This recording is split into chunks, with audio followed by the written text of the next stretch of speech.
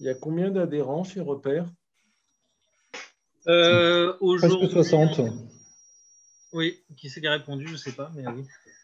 C'est ça, Cédric. Oui, 60 et ça arrive un peu tous les jours là. Donc, euh, comme après, on a une structuration très, très statutaire où ça passe d'abord devant une commission d'adhésion et après c'est validé par le bureau. Il y en a un certain nombre qui sont en attente, mais ça continue d'arriver. Bon, on a démarré il n'y a même pas un mois, hein. c'était euh, fin novembre. Là. Non, c'était quand la, la G.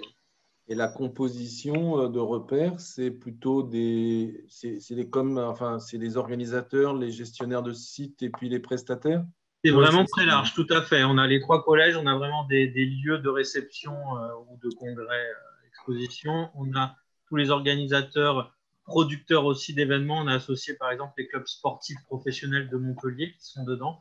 Euh, où on a des producteurs de festivals, euh, de, courses sportives, etc. Et puis après tous les prestataires au sens large du terme, donc euh, des traiteurs, des loueurs de structures, de, de, mobilier, de, photographes, de, compagnies artistiques, etc. Mais, mais est-ce que vous êtes, vous êtes plutôt des professionnels liés à des événements professionnels ou il y a aussi des événements privés? Il y a les deux. Il y a les deux. Sur la partie, par exemple, photographe, vidéaste, etc., ou, ou artiste, euh, c'est vraiment tout ce qui concerne le monde de l'événementiel au sens large du terme.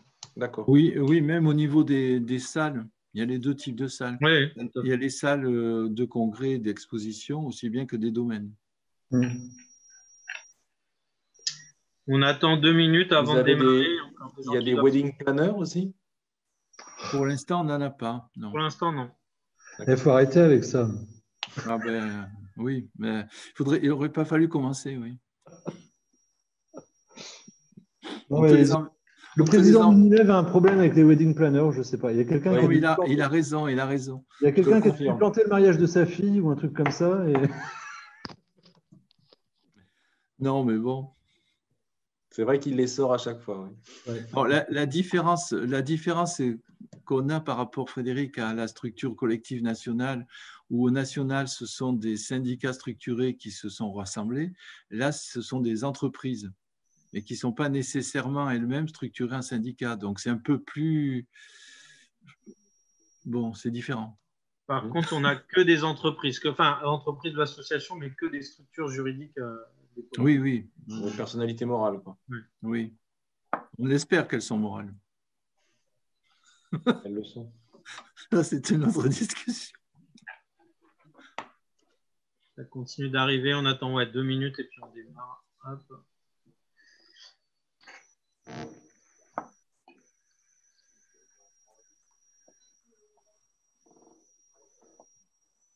Isabelle.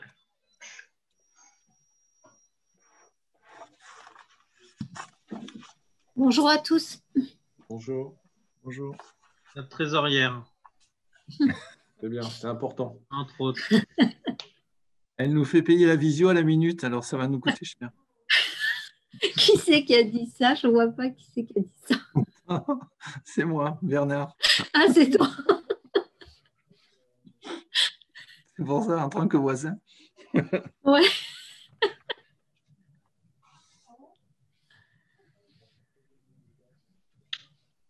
Jean-Pierre Guillermo, notre vice-président, qui se connecte. Voilà.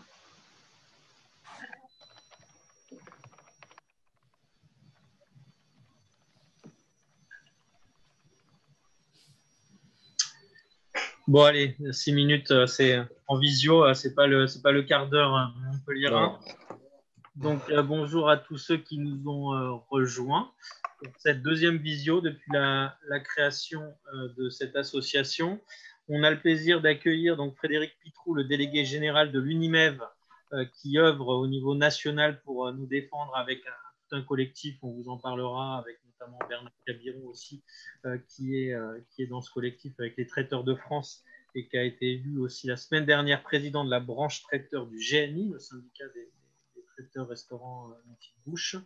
Euh, voilà. Et puis Pascal Castanet, qui est vice-président du tout nouveau conseil régional de l'Ordre des experts comptables Occitanie.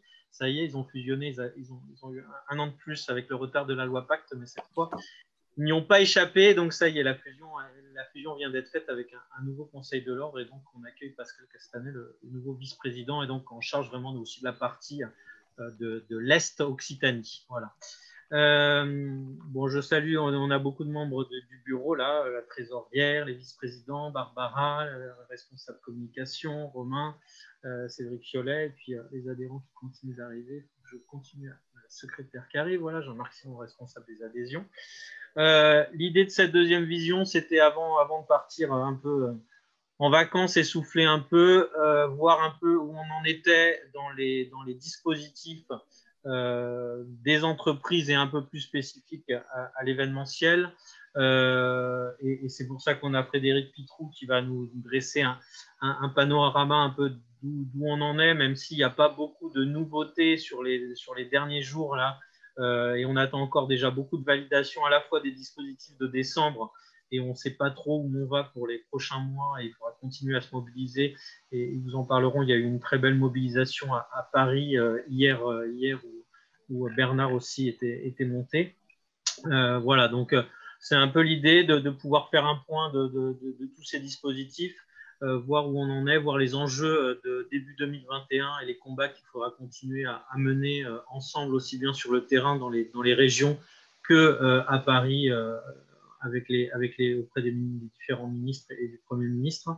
Euh, voilà, et puis Pascal Castanet euh, nous donnera un peu l'œil comptable de, de, tous ces dispositifs aussi et de toutes ces aides avec des enjeux majeurs sur, les, sur, les, sur des décisions stratégiques à prendre, sans doute avant fin mars d'ailleurs pour les bilans 2020, de voir ce que vous faites pour ceux qui ont pris des PGE, euh, si vous les remboursez, si vous les amortissez, si, s'il y a des parties qui doivent être transférées peut-être en prêt participatif de l'État, euh, etc., sur la, partie sociale. Donc, on verra un peu l'œil comptable aussi de, ces façons de présenter son bilan euh, pour garder aussi de la crédibilité euh, dans, le temps. voilà, je ne serai pas beaucoup plus long. L'idée, c'est vraiment d'échanger. Vous pourrez poser toutes les questions après chaque intervenant, que ce soit par le chat ou en prenant la parole. Je vous demande juste de bien tous couper votre micro pour pas que ça fasse de, de caisse de résonance. Si, mais je crois que tout le monde a, pris l'habitude maintenant, il n'y a pas de souci. Et je vais laisser la parole tout de suite à Frédéric Pitrou, donc le délégué général de l'UNIMEF, que je remercie de sa, de sa présence euh, à, nos côtés aujourd'hui. Frédéric. Bah, c'est moi qui vous remercie de, m'accueillir dans votre nouvelle organisation. Donc, si j'ai bien compris, c'est tout récent. Euh, donc, euh, très rapidement, je vais, vous présenter email dont vous avez peut-être euh, tous entendu parler les uns les autres. Donc, c'est une, vieille association, puisqu'elle a bientôt 100 ans, euh, qui à l'origine avait réuni plutôt les organisateurs de foires et dont l'objet était à l'époque, hein, c'était plutôt de se, regrouper, de se faire des, bonnes bouffes ensemble et puis, et puis de se voir, tout simplement. Euh, depuis, ça a un petit peu évolué. Alors aujourd'hui, Unimev, la forme que cela a, ça a trois grands métiers, mais je crois qu'on est un peu sur le même paramètre que, votre association, puisque euh, les trois grands métiers sont les suivants les organisateurs d'événements. Donc, euh, alors pour nous, événements de chez Unimev, c'est les foires, les salons, les congrès, les événements d'entreprise, les événements institutionnels et les événements sportifs. Il existe un Unimev des événements culturels qui s'appelle le PRODIS, euh, donc euh, la frontière, elle est là. Tout ce qui est spectacle, etc., c'est chez le Prodis. L'autre grand métier, c'est les, gestionnaires de sites. Donc là aussi, je crois que dans votre association, vous avez des gestionnaires de sites. Donc nous, c'est plutôt parc des expositions, palais des congrès, stade. Et puis, le troisième grand métier, ce sont les prestataires de services. Et là, je crois que vous en avez aussi beaucoup. Euh, qu'on a, nous, alors on avait utilisé le terme cluster à l'époque, mais maintenant on ne l'utilise plus, puisque ce n'est pas trop tendance. Donc on les a mis en sous-groupe, les, prestataires dits euh, euh, techniques. Alors c'est là qu'on retrouve plutôt ceux qui sont dans les périodes de montage et de démontage. Les prestataires alors humains, ce sont ceux qui vendent de la prestation humaine, c'est-à-dire plutôt sécurité et accueil les prestataires euh, nouvelles technologies, donc plutôt ceux qui sont sur euh, actifs très, en ce moment sur les solutions plutôt digitales, et les prestataires intellectuels, c'est-à-dire qu'Unimev, on a dans nos adhérents des spécialistes, des consultants, des, experts sur la TVA, sur ce genre de choses, et qui euh, font partie aussi des adhérents. Donc ça, voilà le, le périmètre des adhérents d'Unimev. Aujourd'hui, ça représente 300 et quelques entreprises en direct, c'est-à-dire celles à qui j'envoie une cotisation tous les ans. Et puis, bah, depuis, la, depuis la crise sanitaire notamment, sont venus se greffer, comme vous, des, associations locales. Donc, il y en a une à Lille, il y en a une en Bretagne, il y en a une à Marseille, Lyon, Toulouse, et puis vous. Et donc, euh, ben, a deux de ces associations qui ont décidé de s'adosser à Unimeb là, euh, au dernier conseil d'administration qui s'est tenu la semaine dernière. Voilà globalement euh, le périmètre des entreprises. donc, c'est une, association qui représente 90% de l'activité foire salon congrès en France, puisque vous avez les grands acteurs qui sont adhérents, dont un rouge et blanc que vous devez bien connaître, et euh, qui est assez répandu euh, sur tout le territoire et à l'international. Euh, les grandes missions d'Unimev sont les suivantes. la première, c'est de défendre le secteur d'activité. C'est un gros mot, mais je le dis quand même, c'est faire du lobbying. Donc, c'est un peu ce qui m'occupe toute la journée depuis huit mois maintenant. Et je vous en parlerai un petit peu après sur les actions qu'on a menées. La deuxième, la deuxième fonction, du, enfin, grande mission d'Unimev, c'est de faire de la promotion sur cette activité, notamment par des études ou des interventions. Là aussi, ça nous a bien servi pendant la crise sanitaire parce qu'à un moment, il a fallu chiffrer les choses et on a vu euh, un petit peu paraître dans la presse ou dans différents supports des, des, des, nombres de collaborateurs, par exemple, qui étaient assez euh, variables d'une organisation à l'autre. Donc, c'est aussi l'intérêt de, de, faire ces études de manière précise pour savoir un peu de quoi on parle. Et puis, euh, la troisième mission, bah, c'est d'animer ce réseau d'entreprises. Alors, on a plusieurs façons de l'animer. Euh, soit on fait des réunions par métier, donc on met dans la même salle ou en visio tous les organisateurs de foires, donc, euh, dont Cédric est le président d'ailleurs, qui, s'occupe de ce, qu'on appelle nous un groupement. Donc il y a un groupement des organisateurs de foires, un groupement des organisateurs de salons, un groupement des, des gestionnaires de sites, etc. Chacun travaille dans son métier. Et puis, euh, on organise aussi de manière transverse des, ce qu'on appelle, nous, des commissions, où là, vous allez avoir dans la même salle des organisateurs, des gestionnaires de sites, des prestataires.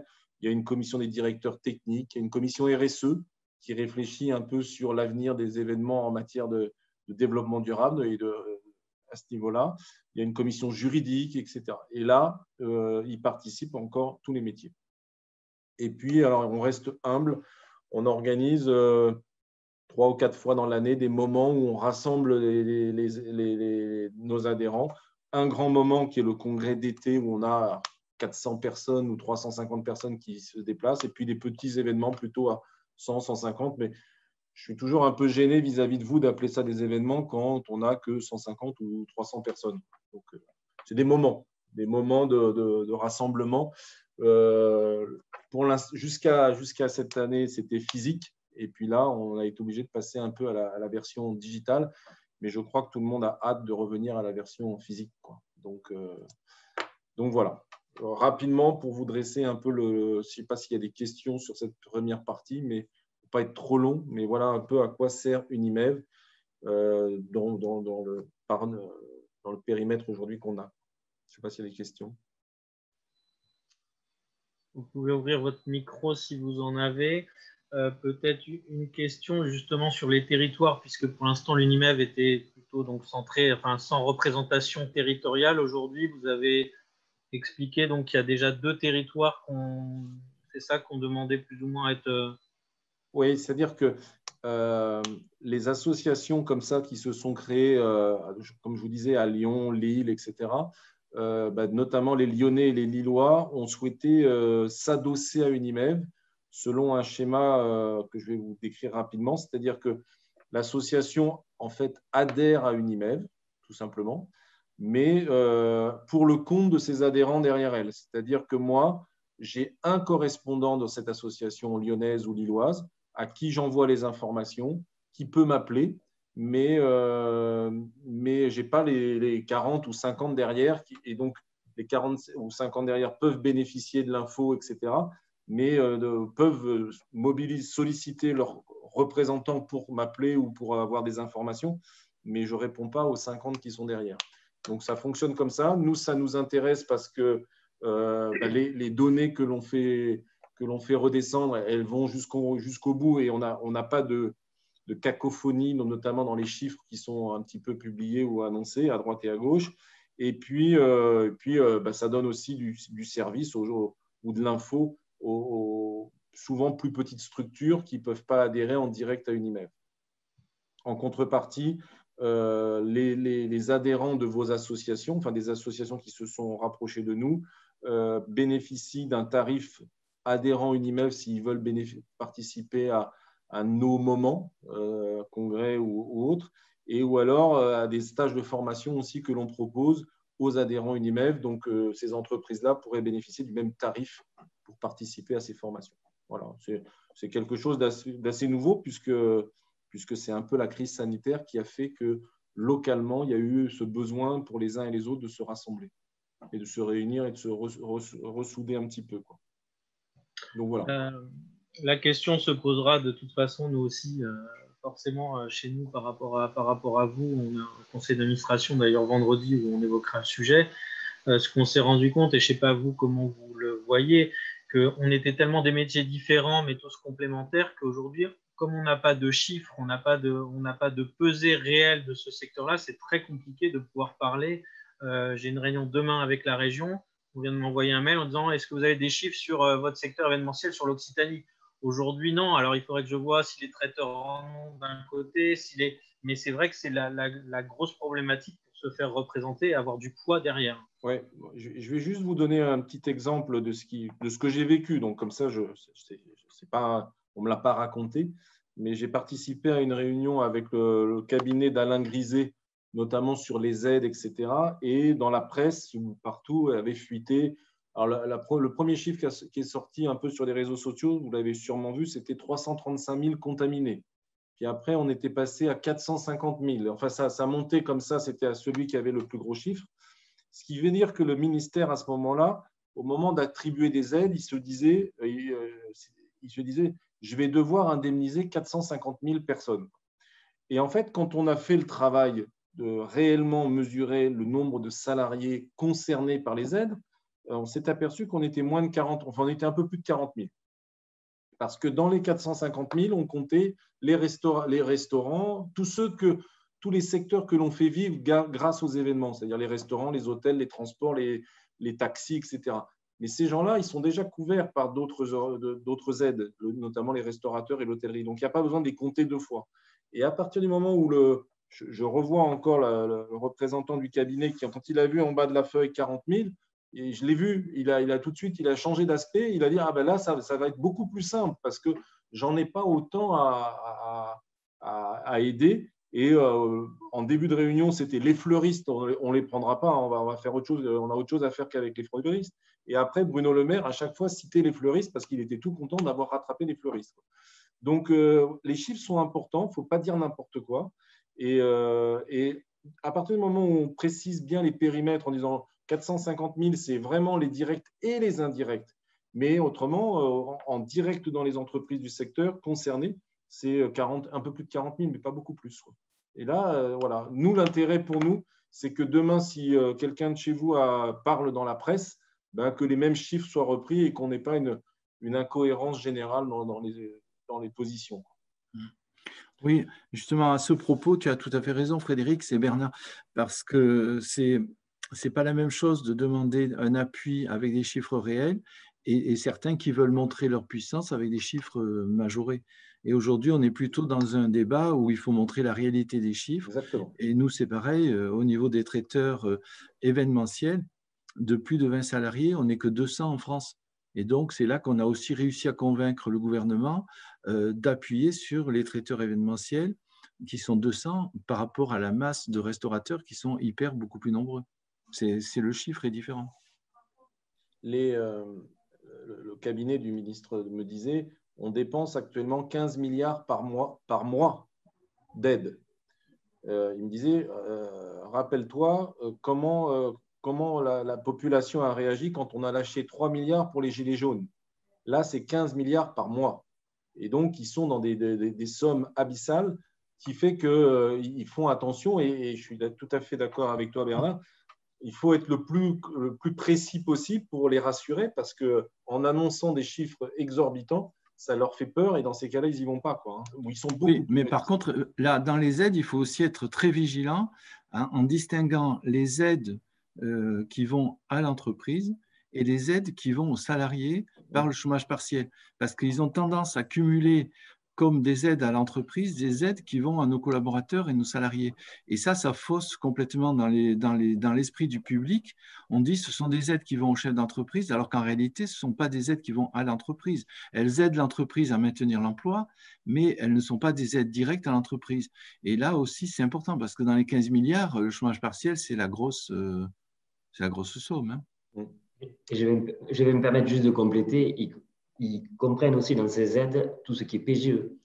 Oui, alors en plus, Pas, ce ne sont pas des aides directes. Non, ce sont des prêts, oui. Donc, euh, sur le deuxième aspect, le deuxième point sur lequel vous vouliez que j'intervienne, euh, on est arrivé dans cette crise sanitaire un petit peu euh, sans l'avoir anticipé. Hein. Je ne sais pas si vous, vous l'aviez vu venir, mais moi, les, les, les, les acteurs que j'ai dans cette association euh, fin, fin février. Euh, tout le monde rigolait de, ce truc qui se tenait en, qui se tenait en Chine et qui n'arriverait pas, etc. Donc, euh, il était, pas, il, était, il était assez clair pour eux que fin février, ils n'annuleraient aucun événement, quoi que ce soit. Donc, tout le monde est un peu tombé de, de haut hein, dans, dans l'histoire. à ce moment-là, au moment de, de, la rentrée dans le tunnel, si on l'appelle comme ça, il y avait des associations qui existent hein, quand même dans ce secteur événementiel qui sont euh, Créalliance, l'événement, Cohésio, Sympas, France Congrès, Traiteurs de France. Donc tout le monde s'est mis autour de la table un petit peu euh, pour essayer de travailler ensemble et ça a, ça a réanimé un petit peu ce petit collectif qui avait une existence préalable sur les questions plutôt de développement durable et qui là s'est dit bah, il faut qu'on se serre les coudes un petit peu pour travailler ensemble. Donc euh, j'ai le plaisir de faire une réunion avec Bernard toutes les semaines depuis le mois de mars. Euh, voilà, donc euh, ce collectif s'est réuni à essayer de travailler ensemble. C'est pas toujours simple parce que on est sept, donc euh, quand on écrit un courrier, il faut que le courrier aille au 7. Il faut, vous imaginez écrire ça à 14 mains, quoi. Donc des fois ça prend un peu de temps, mais ça nous donne plus de poids vis-à-vis notamment des, pouvoirs publics où il y a une espèce d'union qui, qui, d'une seule voix euh, même si euh, côté pouvoir public, ils trouvent que c'est un petit peu incohérent tout ça et que ça serait bien qu'il n'y en ait qu'un qui leur parle, mais la réalité, c'est qu'on est sept et voire huit parce qu'il s'est créé aussi dans le, laps de temps euh, un collectif des lieux événementiels. Je ne sais pas s'il y en a assez descendu jusqu'à chez vous, pour ceux qui gèrent des lieux, qui s'appelle la clé, le collectif des lieux événementiels.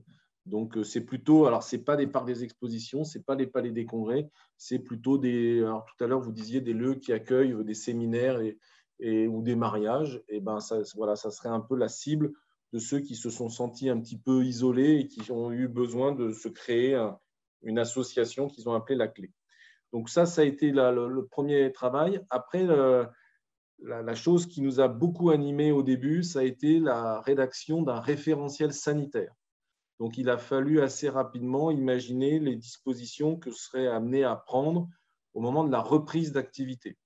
Donc, euh, pour ne rien vous cacher, on en est à la quatrième ou cinquième version de notre référentiel sanitaire, puisqu'à chaque fois, les, contraintes, les, demandes euh, évoluent au fur et à mesure avec les, dans de nos discussions avec l'État. Euh, on est arrivé aujourd'hui à ce calcul de jauge qui serait calculé proportionnellement à la surface d'accueil parce que ils ont un peu compris que le fait de mettre 1000 personnes au Stade de France, ça n'avait pas beaucoup de sens et qu'il fallait peut-être répartir le, nombre de personnes en fonction de, de, la surface. Alors, vous avez peut-être entendu que dans les surfaces commerciales, ils sont à une personne pour 8 mètres carrés. Euh, donc, ils aimeraient bien appliquer la même jauge pour nous sachant que dans les personnes, ils considèrent uniquement les clients, c'est-à-dire on ne compte pas les exposants pour les salons, on ne compte pas le personnel technique de l'organisation ou, du gestionnaire du lieu ou des prestataires. Mais euh, je ne sais pas ce que vous en pensez. Nous, chez Unimem, on considère qu'une personne pour 8 mètres carrés, ce n'est pas économiquement viable et que le minimum du minimum, c'est une personne pour 4 mètres carrés. Donc, euh, s'il y a reprise pour nous, ça serait à minima sur une personne pour 4 mètres carrés. Et après, on remonte les effectifs en fonction de l'évolution de la situation sanitaire si elle s'améliore. Mais il ne nous paraît pas, nous, envisageable de reprendre une activité à moins d'une personne pour 4 mètres carrés. Je ne sais pas si c'est quelque chose que vous partagez, vous, ou, ou à 8 mètres carrés, ça vous va très bien, mais je ne crois pas que dans les magasins, ça soit très bien non plus respecté quand je vois certaines galeries commerciales le samedi après-midi. Mais, mais a priori, ça serait, voilà, ils aimeraient harmoniser pour ne pas faire de distinction entre les uns et les autres sur une personne pour 8 mètres carrés. Ça, ça serait un peu leur, position là-dessus. Et puis, euh, alors, se pose la question aussi du, du test à l'entrée de votre bâtiment ou de votre événement. Euh, là, j'avoue qu'il y, y, a un petit blocage chez nous parce qu'il y, y, a une question de coût, combien, combien vont coûter ces, ces, tests, et puis de, surtout de responsabilité juridique. Si vous détectez des, gens qui finalement sont positifs, comment vous les écartez, comment vous les gérez, etc. Donc, euh, le, gouvernement serait plus pour une recommandation forte de la part de l'organisateur ou du gestionnaire du site pour télécharger tous anti-Covid. Que toute personne qui participe à un événement ait euh, cette application téléchargée, mais ça ne peut pas être une obligation, ça ne peut être qu'une recommandation. Euh, je sais qu'il y a cette même recommandation qui est en train d'être faite dans les. Parce qu'au début, ils voulaient l'imposer dans les restaurants comme condition de reprise de l'ouverture des restaurants. Et euh, je crois que juridiquement, enfin, ce, que, nous dit le ministère, juridiquement, c'est compliqué parce que vous ne pouvez pas imposer à des gens de télécharger euh, une application. Il y en a qui n'ont pas de téléphone, il y en a qui ne voudront pas, etc. Et vous ne pouvez pas leur empêcher d'accéder forcément au, lieu à cause de ça. Par contre, vous pouvez les, motiver, les, recommander de le faire. Donc ça, ça fait partie du référentiel sanitaire. Euh, bien évidemment, on est sur un port du masque obligatoire partout. Euh, des, des, solutions de gel hydroalcoolique en, distribution partout, une attention particulière aux zones de sanitaires et euh, une attention aussi particulière aux zones de restauration, puisque c'est un endroit où on va, euh, par définition, enlever son masque. Et c'est là qu'il faut qu'on fasse aussi très attention aux mesures sanitaires. Et là, on travaille beaucoup avec Traiteurs de France, justement, pour que toute la partie restauration soit complètement réalisable par les traiteurs qui vont être euh, mobilisés euh, à l'occasion des événements. Oui, alors euh, Frédéric, oui, sur la question de la restauration, justement, il faut bien rappeler que dans la première partie, les lieux, c'était une personne pour 4 mètres carrés, mais par contre, la jauge de la restauration, on a évité le mètre carré, puisqu'on n'est pas sur des critères de mètre carré pour la surface de restauration, on est sur des critères d'espacement entre les personnes à table. Et donc, au départ, on était sur un espacement de 50 cm, enfin de 1 mètre entre chaque table, ce qui était une erreur du ministre quand il a annoncé, puisque euh, si on se met un mètre entre chaque table, on a à peine la place de s'asseoir dos à dos. Et donc, aujourd'hui, on est sur un mètre entre chaque dossier de chaise. Donc, ce qui fait que globalement, on est entre on a deux mètres entre chaque table, si on veut, si on veut dire. Lorsqu'on fait une installation de restauration, c'est deux mètres entre chaque table. Et on ne parle pas de mètres carrés. On ne parle pas de mètres carrés parce qu'il y avait une erreur qu'ils avaient faite, c'est quand ils avaient fait le calcul des mètres carrés, euh, ils n'avaient pas compté que quand il y a deux, deux carrés de mètres carrés côte à côte, ils avaient compté deux fois le même espacement. Donc nous, on a réussi à éviter ça. Mais par contre, on est quand même sur de la restauration assise. Alors par contre, là, on parle que de la restauration assise, puisque à l'heure actuelle, la restauration debout est interdite. Donc le protocole, on a travaillé effectivement sur le protocole sanitaire avec l'UNIMEV et avec aussi euh, les syndicats euh, de la restauration, hein, aussi bien le GNI que l'UMIH, de façon à ce que la restauration debout, on essaie de proposer un protocole euh, différent qui, lui, effectivement, va ramener au mètre carré nécessairement. Bon, pour l'instant, ça, c'est pas validé. Pour l'instant, on est toujours en restauration assise obligatoire. Pour l'instant ce qu'on observe aussi, euh, sur ces, mais ça sera pareil dans, dans, les autres sujets que je vais aborder, euh, c'est que les, les, ministères ne se parlent pas. Donc, euh, ce, référentiel sanitaire, à chaque fois qu'on a un contact avec un ministère, il faut lui envoyer. Il n'y a pas de, de partage. Après, là, je ne peux pas vous le cacher, celui qui a un peu les clés, c'est le ministère de, de, la Santé. Et avec lui, pour l'instant, il n'y a pas eu d'échange possible, puisque bah, ils sont, euh, ils sont là-dessus. Euh, le ministre est, complètement bloqué sur la gestion sanitaire et le côté économique n'est pas, n'est pas, n'est pas pris en compte par lui. Quoi. Donc il y a des arbitrages qui ont eu lieu entre Bruno Le Maire et Olivier Véran à une époque, et c'est Bruno Le Maire qui les gagnait assez, assez souvent. C'était au mois d'avril-mai, là, quand il fallait ressortir déconfiné. C'est vrai que vu ce qui s'est passé pendant les vacances et après en septembre, et donc ce reconfinement qu'on est obligé de, même s'il est un petit peu allégé, euh, donne un peu de, poids à Olivier Véran quand il, demande des mesures. Donc, pour l'instant, on n'a pas réussi à entrer en contact avec le, ministère.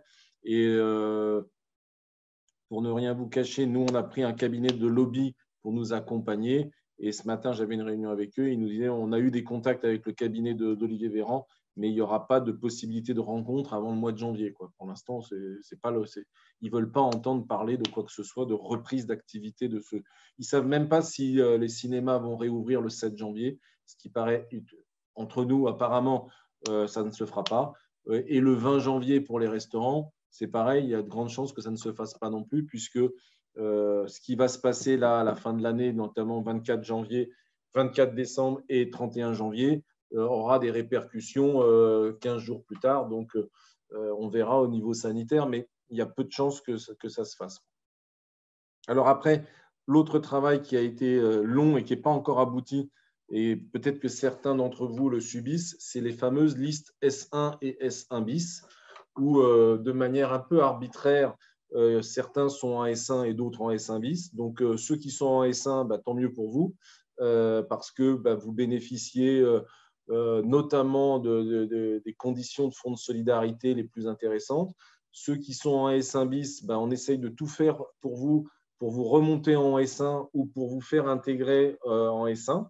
mais là encore, euh, la difficulté qui se pose, c'est que le gouvernement a du mal à, comprendre qu'on ne soit pas tous dans le même code APE. Donc, il lui faire comprendre qu'il y a des restaurateurs, de la sécurité, de l'accueil, du nettoyage, des fleurs, enfin, il y, en a dans tous les sens. Euh, il y en a entre nous qui avaient des codes APE un petit peu originaux quand même aussi. Donc, euh, ce, qui, fait que pour eux, c'est très, très flou.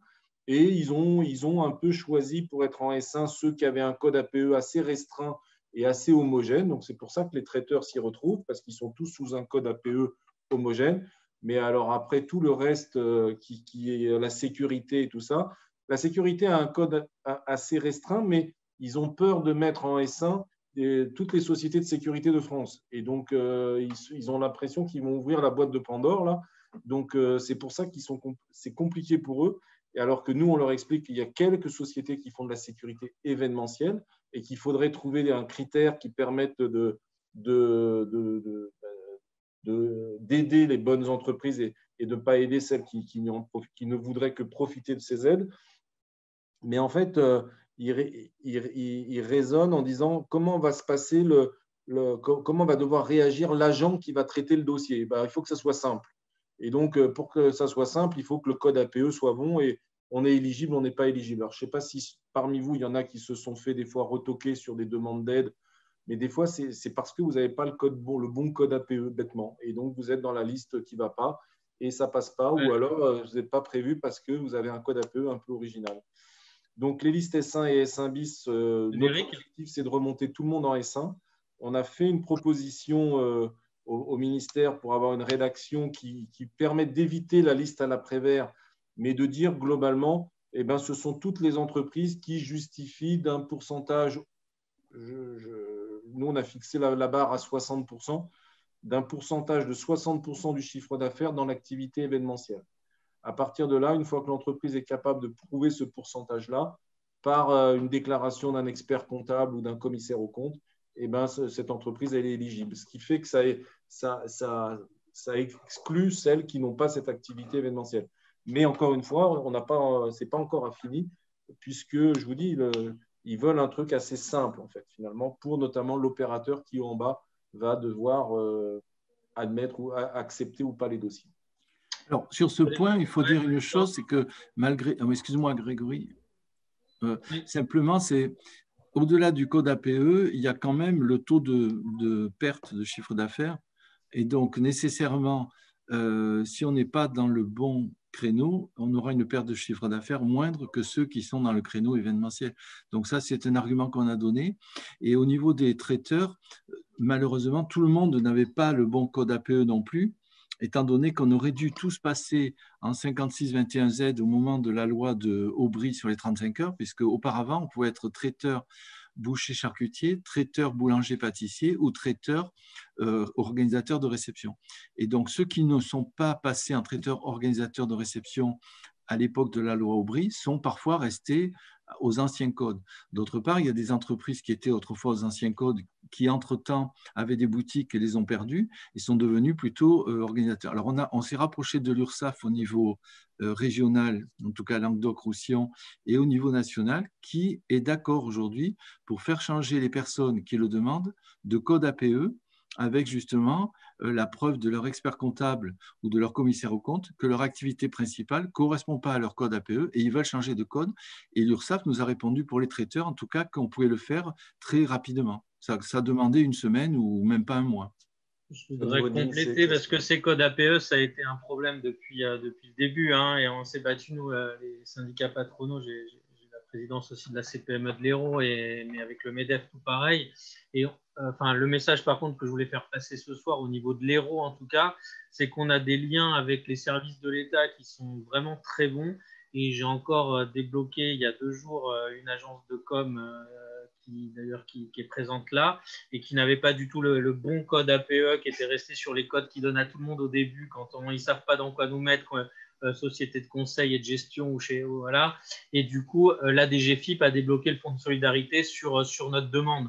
Donc, on a vraiment, il ne faut pas se bloquer sur les codes APE aujourd'hui, en tout cas dans l'Hérault, pour rassurer les, adhérents. Si vous avez le moindre blocage avec ça auprès de l'URSSAF ou auprès de la DGFIP pour le fonds de, la, de solidarité, n'hésitez pas, ça peut être très long de changer son code APE auprès de l'INSEE, etc. Donc, en attendant, faites-nous remonter les dossiers pour le coup on a une vraie euh, écoute, une vraie oreille attentive des services de l'État de ce côté-là. En tout cas, dans les ce c'est peut-être pas le cas partout, mais ici, on, arrive à faire débloquer dans la journée, euh, même avec un mauvais code APE. Euh, voilà, donc il n'y a pas de souci de ce côté-là. Bon, super. Mais bon, ça, c'est donc les listes S1 et S1 bis restent un sujet majeur. Après, les, quatre autres sujets sur lesquels on a passé beaucoup de temps, c'est euh, l'activité partielle, dont vous avez dû pouvoir bénéficier euh, et qui, pour l'instant, euh, si on regarde les textes, s'arrêterait au 31 décembre. on a eu une réunion la semaine dernière avec le, cabinet d'Elisabeth Borne et qui nous disait bah alors là, ça n'ira pas au-delà du 31 décembre. Et après, vous avez ce qu'on appelle l'APLD, c'est-à-dire l'activité partielle de longue durée. Euh, et puis, de l'autre côté, on avait un, rendez-vous avec le, cabinet d'Alain Griset qui nous disait Mais non, non, non, nous, on envisage de maintenir l'activité partielle. Donc, je vous dis, quand je vous dis qu'il n'y a, pas de cohérence forcément dans le gouvernement, c'est qu'entre deux ministères, ils ne disent pas la même chose. Bon, il s'avère qu'apparemment, c'est le, cabinet Griset qui, qui, euh, avait raison, puisque c'est le ministère de l'économie, et que, mais pour l'instant, ce n'est pas encore validé, les aides seraient au moins de, enfin l'activité partielle serait au moins maintenue jusqu'au 31 janvier. Euh, Elisabeth Borne a parlé du mois de février et elle a même euh, mentionné que pour tout ce qui est salon, etc., euh, bien évidemment, c'est une activité qui ne redémarrera pas du jour au lendemain et donc il y aurait un accompagnement un peu plus long. nous, notre demande, c'est que ces, aides, cet ce chômage partiel dans les conditions actuelles soit maintenu au moins jusqu'au 30 juin. Je pense que, Frédéric, ça sera vraiment un des sujets, euh, un des enjeux majeurs de l'année 2021, de, leur faire comprendre que le, que l'ensemble des métiers de l'événementiel, ça va être très long à redémarrer et que c'est pas, on le dit tout le temps, en off et que même si on nous autorise à faire des événements au 1er avril, par exemple, le temps que ça se remette en place, les entreprises auront besoin de ce dispositif le plus longtemps possible. Donc ça, c'était vraiment un des enjeux majeurs. Et je crois qu'il y a Philippe qui voulait, Bale, qui voulait euh, poser une question aussi. Donc, je te laisse enchaîner comme ça. Frédéric, vous reprenez la parole. Philippe. Bonjour Frédéric, je vous avais écrit justement euh, un mail il y a quelques jours euh, pour vous demander des, informations concernant le, chômage partiel, puisque on avait reçu, en fait, on s'est fait retoquer du chômage partiel il y a, il y a deux semaines de ça. par la directe au niveau national en disant que ben, on devait faire une régularisation, régularisation depuis le mois de juillet considérant qu'on n'était pas éligible euh, au chômage partiel dans les conditions données. Euh, alors moi, j'ai écrit de suite au directeur de la directe la, euh, locale qui nous a dit effectivement que les, il nous dit bah, donnez-moi le décret, mais nous, on a considéré effectivement que les listes S1 et S1 bis étaient concernées dans les décrets l'accès au fonds de solidarité et ne concernaient pas du tout le chômage partiel. Donc aujourd'hui, ils disent nous, la seule chose qu'on a sur le bureau, c'est, euh, me dit-il, pour l'activité partielle, les références sur les annexes 1 et 2 du décret 2020-810 du 29 juin, modifié par le décret 1123 du 10 septembre 2020. Il dit au-delà de ça, j'ai rien d'autre. Et il dit les listes S1 et S1 sont relatives à l'application du fonds de solidarité et non de l'activité partielle. Voilà. Donc, euh, il m'a fait passer. Il a, il, a, il dit qu'il nous le payait. Mais aujourd'hui, ça veut dire qu'en théorie, à tout moment, on peut me dire ben non. Et visiblement, j'aimerais pouvoir leur proposer quelque chose pour leur dire regardez, euh, c'est valable pour nous tous, hein, chez Repère ici, hein, Grégory. Hein. Mais euh, moi, aujourd'hui, je n'ai pas réussi à leur répondre. Donc, si vous avez un document ou un décret, j'apprécierais. En fait, la, liste S1 et S1 bis, les listes S1 et S1 bis, elles servent de socle pour, tout, pour les, aides.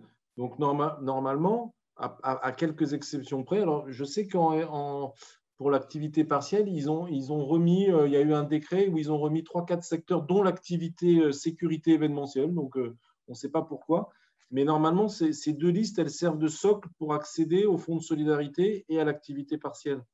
Donc, c'est ça qui est un peu étonnant dans votre cas, parce que si vous dit euh, c'est une liste, enfin, ce sont des listes qui ne servent que fonds de solidarité, ce n'est pas tout à fait vrai, parce qu'elles servent aussi à l'activité partielle pour déterminer justement les secteurs particulièrement touchés qu'il faut aider.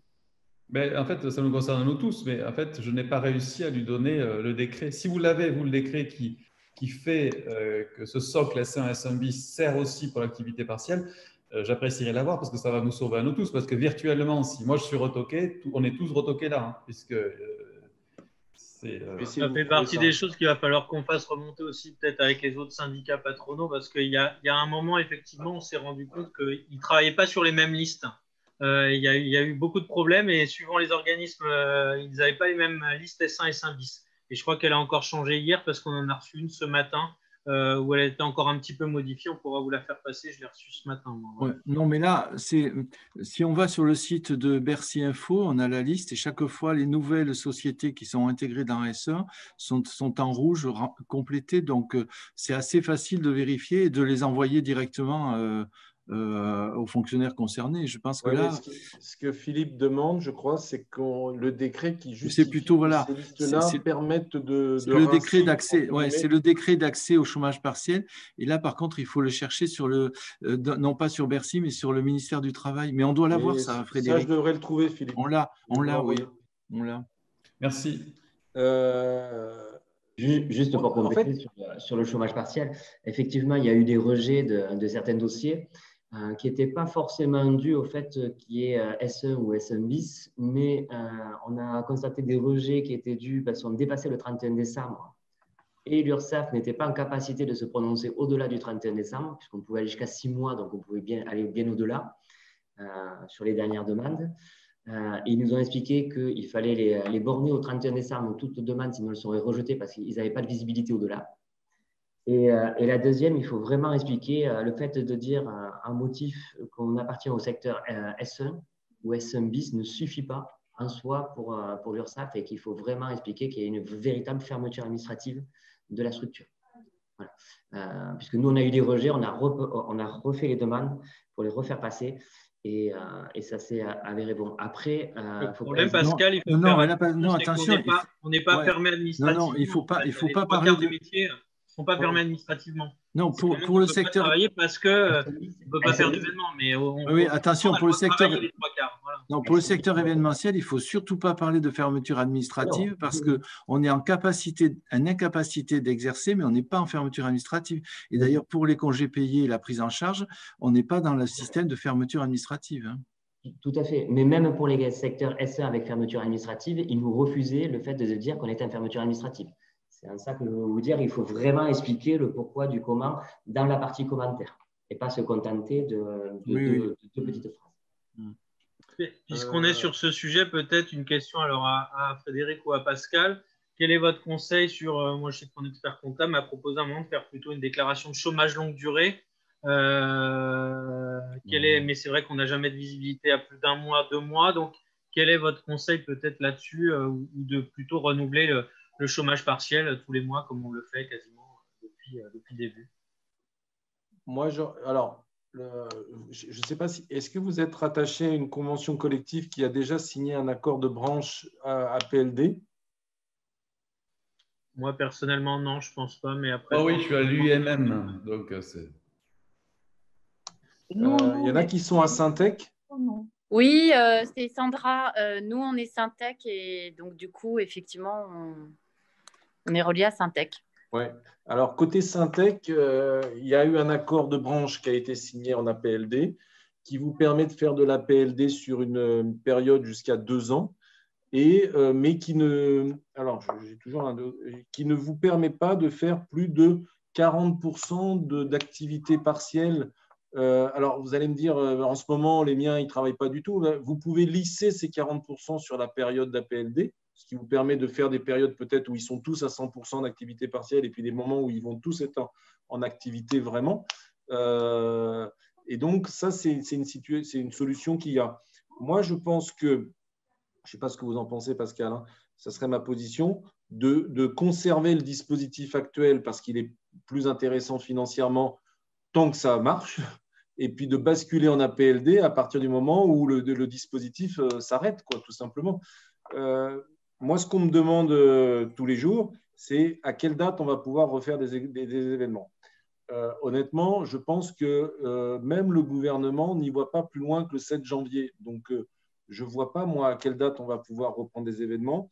J'entends des. Vous avez vu des événements du mois de juin et, pas les moindres qui sont déjà annulés. Donc, donc ça veut dire que. Alors, c'était des événements internationaux, il y avait d'autres choses qui venaient se greffer dessus.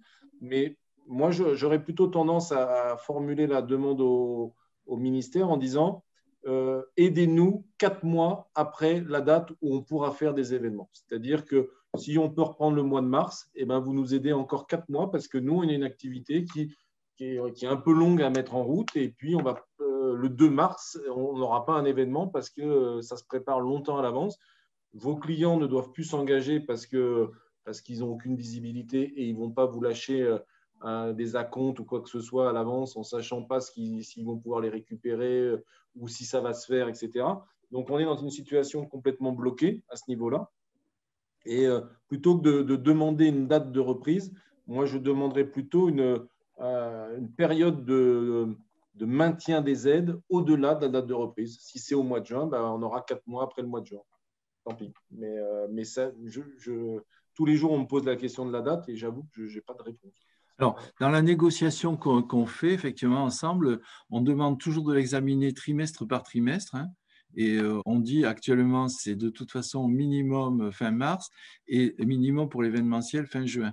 Mais ce qu'a dit Elisabeth Borne aussi, c'est que même si on souscrivait une mesure d'APLD et qu'on ait accès au chômage partiel majoré, ça serait la meilleure des deux formules qui s'appliquerait à l'entreprise. Donc, euh, bon, on ne prend pas de risque, bon, sauf que la PLD, ça coûte beaucoup plus cher que le chômage partiel majoré. Hein. Euh, parce que le remboursement de la PLD n'est que de 60% de, du chômage partiel payé aux salariés. Le chômage partiel payé aux salariés est de 70% de son salaire brut, mais on, ne nous en rembourse que 60%. je, je, suis tout à fait d'accord sur la stratégie. Tant qu'on peut faire le chômage partiel euh, il faut faire ça et dans un deuxième temps, passer sur la PLD quand ça sera possible. Je mets simplement euh, euh, vraiment une alerte sur le formalisme de la PLD, notamment euh, sur parce qu'il n'y a pas beaucoup de conventions qui ont passé des, conventions là-dessus. Donc ça voudra dire qu'il faudra vraiment faire attention au formalisme si vous le mettez en place. Oui, parce qu'une question se pose, lorsqu'on est dans une branche qui n'a pas signé d'accord de branche étendu, par exemple, c'est le cas des traiteurs, puisqu'il y a deux syndicats salariés qui ont refusé et qui ont refusé de signer l'accord de branche. Et donc, par contre, nous, si on est adhérent d'un syndicat, on peut la mettre en place, même si elle n'est pas étendue, puisque l'extension ne s'impose qu'à l'ensemble des non-adhérents. Mais lorsqu'on est adhérent d'un syndicat, on doit pouvoir l'appliquer, même si elle n'est pas étendue. À la condition que le syndicat soit signataire. Ben oui, non, mais le syndicat, par exemple, si on est adhérent du, GNI, euh, on peut l'appliquer si on est adhérent du GNI. Tout à fait. D'accord. Tout à fait. Et sinon, vous l'appliquez, vous, passez les accords d'entreprise aussi. Oui, oui, on peut passer un accord d'entreprise. Pour les moins de 10, c'est plus facile. Bah, tu fais un référendum. Voilà. L'intérêt des entreprises de moins de 10, c'est que là, euh, la procédure est plus simple. Mmh. Euh, l'autre point sur lequel on, est, on a beaucoup on est intervenu, c'est sur les exonérations de charges patronales. Euh, donc, vous avez dû obtenir normalement des exonérations de charges sur la période mars-avril jusqu'au 31 mai. après, ça s'est arrêté et ils reprennent les exonérations de charges à partir du mois de septembre. Donc nous, on se bat aussi pour que euh, juin, juillet, août, où on était euh, potentiellement fermé puisque les rassemblements étaient interdits, je vous rappelle, euh, jusqu'à 5 étaient interdits, et, ben on, se, bat aussi pour avoir ces trois mois d'exonération de charges. Et là, bon, j'avoue qu'on a un peu peu d'espoir puisque le gouvernement nous a dit qu'il n'y aurait pas de rétroactivité là-dessus, mais on, ça ne nous empêche pas de le rappeler régulièrement que pendant ces trois mois-là, on n'avait pas la possibilité de, travailler, puisque notre activité qui est d'organiser des rassemblements était interdite. Euh, ça, c'était. Et puis le dernier point, c'était sur les accès au fonds de solidarité, où euh, ben là Bernard pourra le dire aussi. Euh, on se bat pour qu'il n'y ait pas de distinction entre les S1 et les S1 bis. Et puis, ce qui était assez amusant, c'est qu'au début, il y avait des choses qui étaient impossibles de la part du gouvernement, notamment les, les plus de 50, ce n'était pas possible, c'était impossible. 1500 euh, euros, on ne pouvait pas aller au-delà, etc. Et puis aujourd'hui, euh, il n'y a plus de limite euh, au niveau du nombre de salariés. Et puis, a, alors pour les S1 bis, c'est quand même limité à, à, 10 000 euros. Et puis pour les, les S1, alors eux, c'est soit 10 000 euros, soit 20% du chiffre d'affaires. Alors, euh, il y a peut-être une, petite précision à vous apporter. C'est soit c'est sur le mois de décembre seulement, hein, et c'est euh, soit c'est 20% du chiffre d'affaires par rapport à décembre 2019, ou alors si vous avez un mois de décembre qui est un peu faible parce que l'activité c'est pas c'est pas à ce moment-là, ils ont accepté de lisser le chiffre d'affaires 2019 sur 12 mois pour le calculer votre, votre fonds de solidarité sur cette base-là et pas forcément le mois de décembre qui est peut-être un mois très faible dans votre activité. Non, Frédéric, c'est euh, décembre, décembre et janvier. Hein. Oui. Non, non, c'est pas que décembre. Hein. C'est que décembre et janvier, pardon. C'est décembre et janvier. Et, euh, et donc, euh, l'idée, c'est, enfin, on va voir aussi si, si, on peut perdurer cette, cette, cette aide. là où on n'a pas. Oui. Ça a été validé que le fonds de solidarité serait le même dispositif sur le mois de janvier? Oui. D'accord, ça c'est nouveau. Non, le décret n'est pas paru hein, du tout. Mais d'ailleurs, même celui de décembre, il n'est pas encore paru mm. non plus. Mais dans les discussions qu'on a eues, euh, euh, c'est validé jusqu'à la réouverture des restaurants. Donc, à ce jour, c'est validé jusqu'au 20 janvier. Alors, normalement. Sachant que nous, on n'est pas dans le cadre de la fermeture administrative, comme on le disait tout à l'heure, on est dans le cadre d'une incapacité d'exercer totalement. Et donc, en fait, c'est la perte de chiffre d'affaires qui nous fait bénéficier ou de 15% du chiffre d'affaires si on est à 50% de perte, ou 20% si on est au-delà de 70% de perte.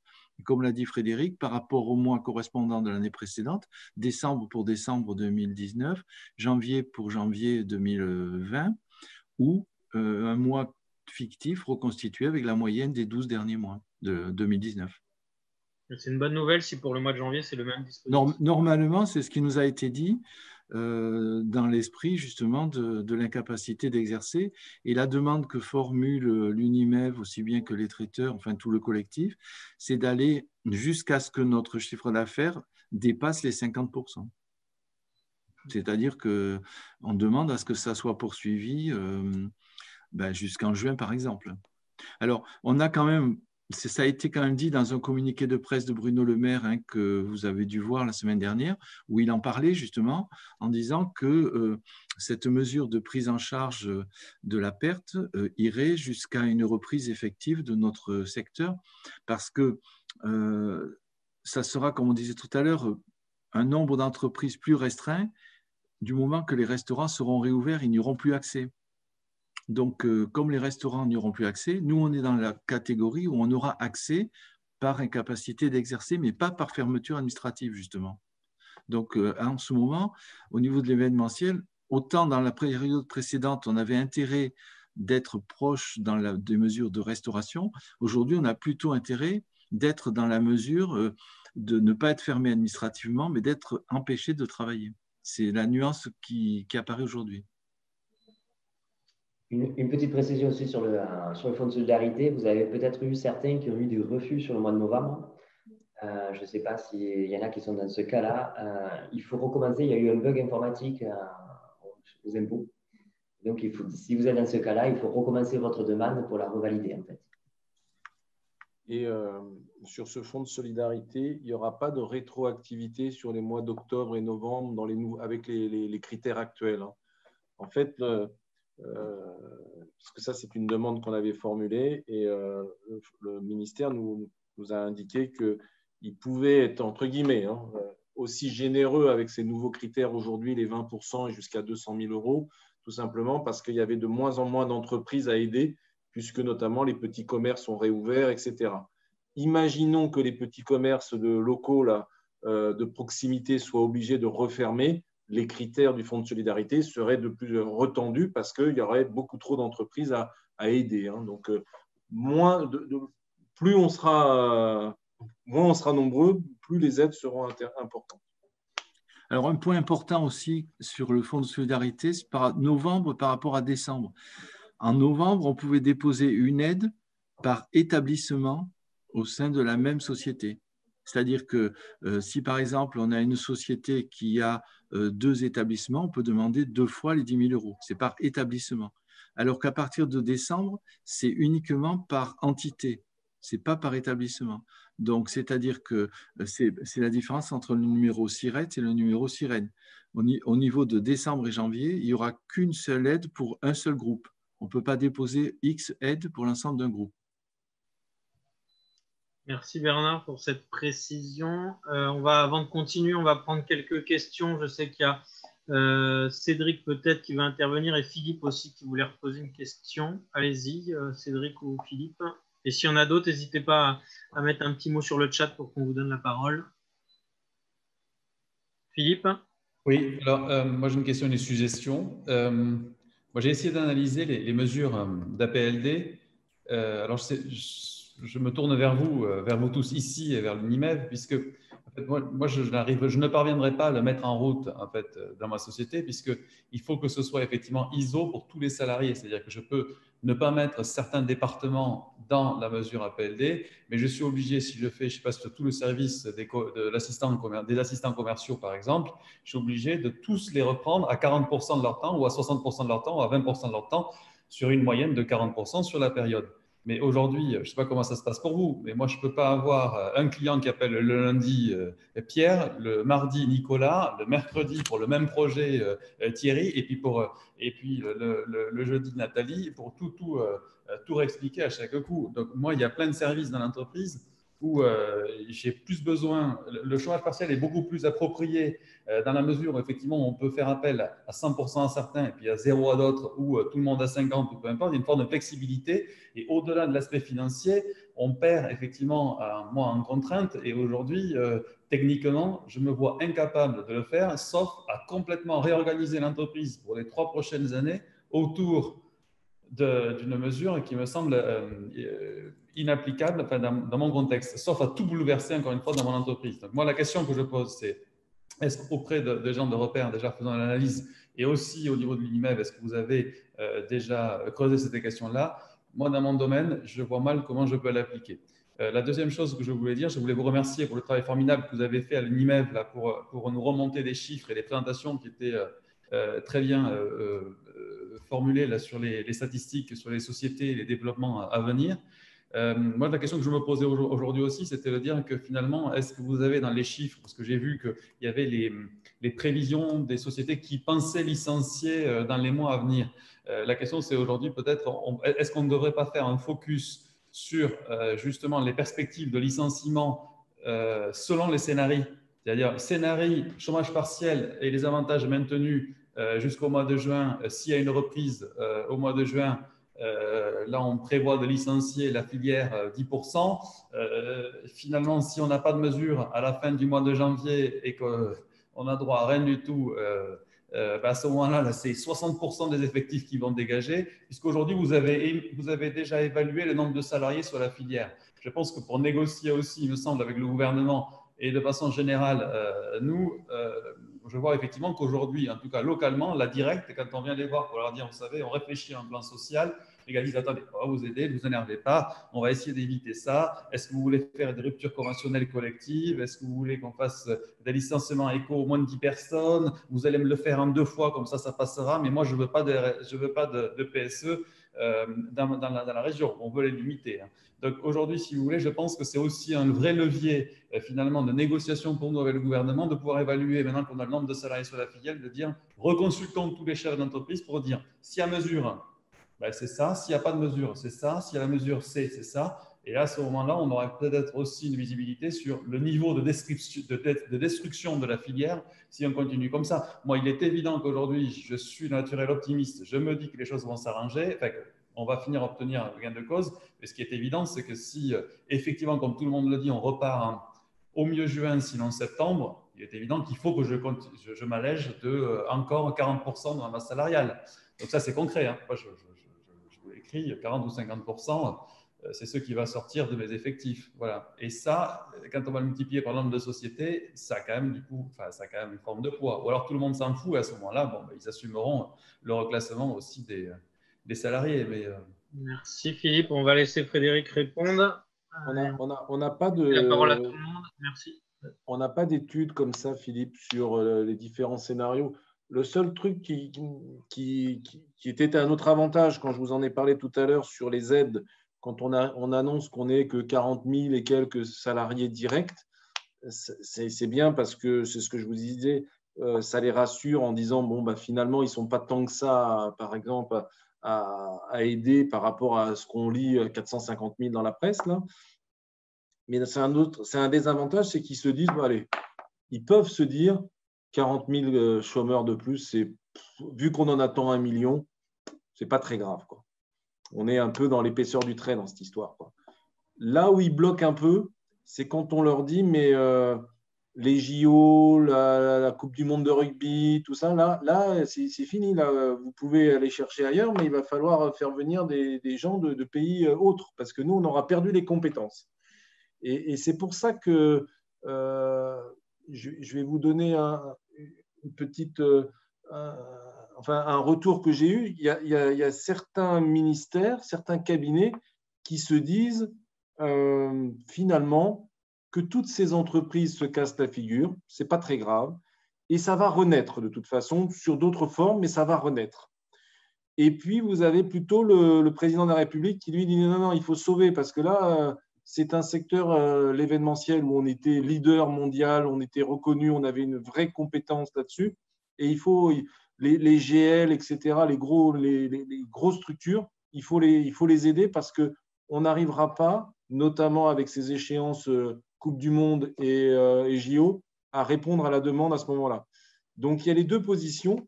Euh, pour l'instant, ils nous aident, ils nous retiennent, ils, nous, ils nous identifient assez dans les. C'est assez nouveau ça aussi. On est identifié dans les discours à chaque fois. Alors on est toujours cité en dernier. Hein, je suis d'accord, on n'est pas les premiers cités, mais on est cité. Euh, donc ils sont plutôt à vouloir protéger au maximum les, salariés et les compétences en indemnisant et en nous maintenant dans le dispositif d'activité partielle notamment. Mais, euh, mais encore une fois, hein, je vous dis, je pense qu'il y en a dans, les cabinets notamment qui disent 40 000 de plus ou 40 000 de moins, ce n'est pas très grave. Parce qu'ils en attendent un paquet quand même. Hein.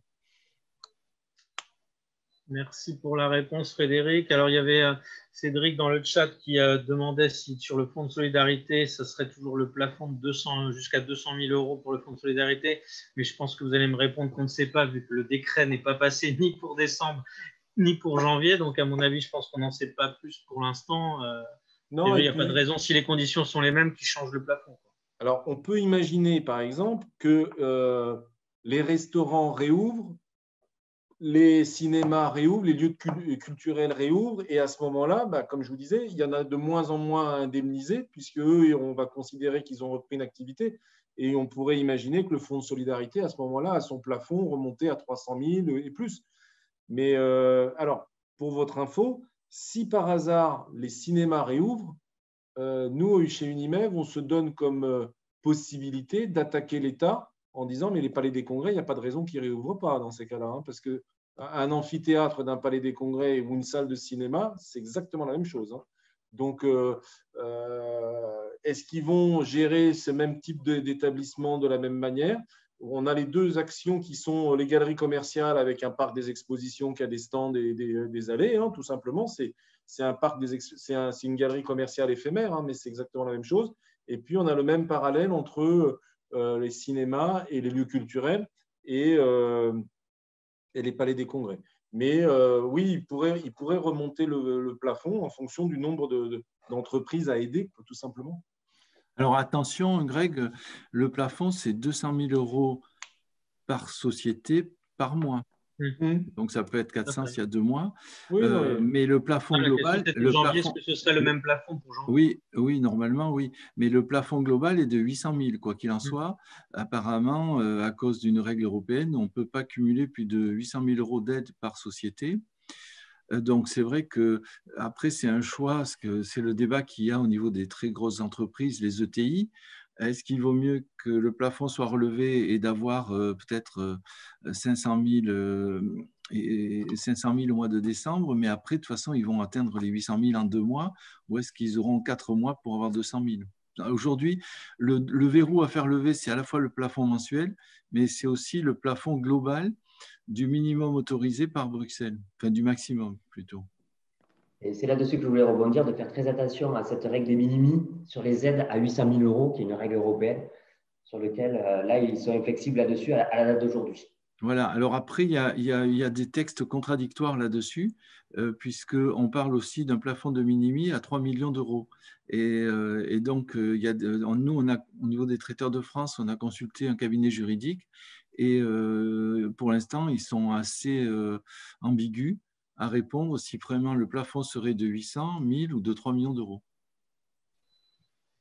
Les dernières informations que j'ai qui viennent du Conseil supérieur de l'ordre, ils maintiendraient à 800 aux dernières nouvelles. Mais bon, on, essaye aussi d'agir pour le faire sauter de notre côté. Alors après, la question, c'est de savoir est-ce que les 800 euh, sont sur la période de la crise ou est-ce que les 800 sont sur quelle période? Euh, là, on va changer d'exercice comptable. Donc, on va, certains se poser la question est-ce que les 800 sont euh, depuis mars jusqu'en janvier ou février si la crise se poursuit Ou est-ce que les 800 sont sur le trimestre Ou est-ce que les 800 sur, sont l'année civile? Normalement, c'est trois ans les minimis, non? Alors, les minimis jusqu'à présent, c'était trois ans. Mais aujourd'hui, ils ont, ramené les minimis à la période de la, à la crise. Pour, pour, pour le plafond des 800 000, ils l'ont mis, ils mis sur la période de la crise sanitaire. Avant, c'était 300 000 ou 200 000, je ne sais plus, euh, sur, la, sur trois ans. 200 000 sur trois ans. Ça a été déplafonné par Bruxelles à 800 000 sur la crise sanitaire aujourd'hui. Mais enfin, bon, si on avait. Là, on parle de sociétés qui ont vraiment des, très grosses pertes. Hein. Pour poursuivre, Frédéric, je ne sais pas, peut-être avant de laisser après la parole à Pascal, du coup, pour euh, parler un peu, un peu bilan, justement, et, et PGE peut-être un dernier point sur la mesure euh, euh, qui, concerne peu de monde chez nous, je pense, pour rentrer dans les critères, à part peut-être les traiteurs qui sont sur les congés payés, puisque là, il y a une échéance euh, enfin, très importante, puisqu'il faudrait déjà presque avoir prévenu ses salariés, puisque ces 10 jours sont à prendre absolument en janvier. Il faut normalement les prévenir un mois à l'avance. Donc, je ne sais pas si Frédéric ou Bernard peuvent en dire un petit mot rapide, parce que ça concerne les critères pour les avoir étaient très. Voilà. Alors là, oui, alors nous. ont été fermés administrativement. Alors nous, on avait donné comme consigne d'aller très vite, puisque la mesure, il faut avoir perdu plus de 90% là, du chiffre d'affaires. Donc c'est vrai que 90%, c'est très élevé. Sur quelle période, tu peux dire, c'est 90% sur les deux alors, sur, les deux périodes de fermeture, euh, non pas de fermeture, sur les deux périodes de crise euh, sanitaire, donc du 23 mars euh, au 11 juillet pour la première période, et de alors, octobre, novembre, décembre, je ne sais plus la date en octobre, je ne l'ai plus en tête, mais bon, voilà. Et donc là, il faut avoir plus de 90%. Alors, pour ce qui concerne les traiteurs, nous, en moyenne nationale, on est à 86%. Donc, euh, euh, à peu près euh, les trois quarts de nos, adhérents enfin, sont au-delà des 90%. Moi, par exemple, je suis à 91%. Je passe juste. Euh, bon, c'est pas glorieux, mais c'est voilà. donc, sachant que les 10 jours, il faut les prendre, bien sûr. Alors là-dessus, bah, la solution qu'on a prise, c'est de fermer. Dans la mesure où on est fermé, eh bien, tout le monde est en congé. Donc, on fermera euh, à partir du, 1er janvier, on fermera 10 jours de façon à ce que euh, tout le monde soit en congé payé. Voilà. attention, qu'il fallait, c'est soit par négociation, soit par euh, en imposant en fait finalement cette fermeture obligatoire de 10 jours, mais il faut les prévenir un mois à l'avance. Oui, mais on ne pouvait pas les prévenir un mois à l'avance. il faut prendre ça avant le 20 janvier. Ça veut dire qu'il il fallait les prévenir au 10 décembre. Et la mesure, elle a été annoncée le, 9. Alors, euh, bon, euh, c'était complètement aberrant. C'est ça. Frédéric, est-ce que vous vouliez rajouter quelque chose euh, sur un peu les mesures Écoutez, moi, je pense, j'ai fait le, enfin, j'avais noté plusieurs points et j'ai parlé de tous mes points. Donc, je sais, je sais pas s'il y a des questions qui se posent, mais on va, on prendra peut-être des questions supplémentaires. On va laisser Pascal peut-être compléter plutôt sur la partie bilan euh, amortissement des PGE ou non et, des prêts. Euh, et puis après, on, trouvera les dernières questions. Très bien. Merci. Pascal? Oui, je vais, prendre un petit peu le relais sur la, partie comptable et, les différentes euh, aides et comment essayer d'agencer un peu tout ça dans les, dans, les bilans qui sont en train de se clôturer, voire qui se sont clôturés en cours d'année, hein, puisqu'on a quand même des clôtures cours d'année, 31 mars, 30 juin, 30 septembre il n'y a pas que les 31 décembre, avec des conséquences aussi qui peuvent avoir lieu sur des présentations de bilan. Et vous avez reçu, si vous avez eu des clôtures en cours d'année, là, voire au 31 décembre 2019, des demandes de la Banque de France, parce qu'il n'y a pas que, euh, il a pas que les, aides et les présentations, vous avez aussi des, cotations Banque de France. Et, euh, c'est très important d'avoir euh, une, une, bonne cotation parce que ça vous permet d'avoir accès à certains emprunts et euh, le petit conseil que je peux vous donner, c'est de ne pas hésiter à appeler euh, la Banque de France pour discuter avec eux, pour expliquer. Euh, on a fait remonter certaines cotations dessus sur certains de nos clients en, simplement discutant et en expliquant la situation. Donc, ne, pas oublier de le faire parce que ça, peut avoir un impact pour la suite. Alors, différentes mesures, ben, vous en avez parlé, hein, il, y a, des mesures dans tous les sens et ça évolue en permanence. Moi-même, j'apprends des choses ce soir puisque vois les, le fonds de solidarité de décembre et de janvier, dont on n'est, nous, pas au courant. Euh, voilà, parce qu'on est, euh, pourtant, on participe, euh, l'Ordre des comptables participe au niveau régional. En tout cas, pour ma part, je participe chaque semaine au, séminaire qu'il peut y avoir, avec, au webinaire qu'il peut y avoir avec la région et les préfets pour essayer d'expliquer les situations de chaque secteur d'activité. Donc là-dessus, on essaye d'accompagner au mieux les entreprises euh, alors nous, ça a été un peu l'effet inverse. Hein. Nous, on a eu un surcroît d'activité. Et, du fait, les mêmes des problématiques un peu inverses à vous dans nos cabinets où euh, nous, on a eu des burn-out dans tous les sens et euh, manque de personnel. Voilà. Donc, pour vous expliquer un peu toutes les aides, on a parlé, il y a les aides nationales avec le Fonds de solidarité, qui est un message, je crois que vous êtes bien au point maintenant là-dessus, même si au départ, ça a été un peu plus dur. Il y a la partie sociale avec tout ce qui est chômage partiel euh, qui a été compliqué à mettre en place en première, en première partie. Mais euh, grâce à nos relations avec euh, l'administration de l'URSSAF, on a réussi à, débloquer pas mal de situations pour, nos, clients. Il hein. faut savoir que malgré tout ce qui pouvait être dit, et, je suis tout à fait d'accord avec ce qui, a, ce qui a été dit précédemment, chaque ministère regarde sa propre porte sans, sans savoir ce, dit, ce qui se dit à côté. Et donc, on avait beaucoup de, de décisions, de tweets de ministres, de, faits qui en fait se concrétisaient pas dans les textes. Et notamment, par exemple, on nous, a, on racontait que, euh, par exemple, le chômage partiel, le marché fonctionnait très très bien Et nous, on savait très pertinemment qu'il y avait plus de 250, 250 entreprises, rien que sur Languedoc-Roussillon, en souffrance et qui ont mis plus de deux mois à se, débloquer. Donc là-dessus, on a, on géré. donc, mais tout ça, ça s'est rentré. Va se poser la, question de la PLD. Petite précision sur la PLD aussi, vous prenez quand même un engagement aussi de conservation de l'emploi. Il faudra voir, c'est pas neutre non plus. Euh, donc il faudra à, bien, à bien borner tout ça. Là-dessus, bon, après, on, va voir comment on va pouvoir l'appliquer. Pour le moment, on, est sur le chômage partiel traditionnel pour le moment. Euh, après arrive la, problématique du PGE. PGE, vous l'avez vu, hein, qui est plafonné en, fonction de vos dates de création. Ça peut monter sur des sommes à 25% de votre chiffre d'affaires. Je ne sais pas si vous l'avez activé, si vous l'avez activé au maximum. Euh, on a constaté, nous, que c'était assez facile à activer sur la première partie, mars, avril, mai. Après, ça dépendait des banques, mais on a agi pour que euh, toutes les banques participent au même niveau, qu'il n'y ait pas qui fasse quelques blocages. Euh, je ne sais pas si vous avez fait des compléments de demande là récemment, puisqu'on peut, chaque mois, on peut demander jusqu'à concurrence de 25%. c'est un peu plus compliqué pour avoir les PGE en ce moment, donc ne tardez pas. Je pense qu'il faut agir rapidement si vous voulez les demander. Il euh, faut savoir quand même que ça a été reporté euh, jusqu'au 30 juin 2021, les demandes. Donc, ça vous permet d'avoir une visibilité un peu, un peu plus longue, mais euh, je ne pense pas que dans la stratégie, il va falloir attendre trop longtemps. Alors, certains clients m'ont dit on a la trésor, on ne demande pas. nous, on a fait le conseil qu'on a donné nous à nos clients, ça a été complètement l'inverse. Ça a été de demander quel est le risque. Au pire, vous l'avez, vous le remboursez dans un an, ça ne vous coûte pas grand-chose. Et au mieux, on va voir ce qui va se passer derrière. Il y a, certaines demandes qui sont en cours euh, sur lesquelles on n'a pas, pas forcément encore la réponse. Sachez qu'il y a un décalage quand même de remboursement de 12 mois qui peut vous aider à passer cette période, voire on a obtenu le fait que ça soit reporté sur 24 mois. Donc, ça veut dire que pendant 24 mois, vous ne payez uniquement que la, garantie de l'État, ce qui est quand même euh, très très faible. Et après, ça sera, pourra être du coup étalé sur 4 ans maximum. Euh, avec un taux maximum de 2,5, puisque ça, ça a été fixé. Euh, et si vous regardez euh, le taux plus la garantie sur laquelle vous n'êtes pas caution, puisque c'était une des conditions, hein, c'est l'État qui se porte caution à 90%, il y a des vrais calculs stratégiques à faire. Et donc, n'hésitez pas à, en discuter avec votre expert comptable qui vous, qui vous conseille là-dessus.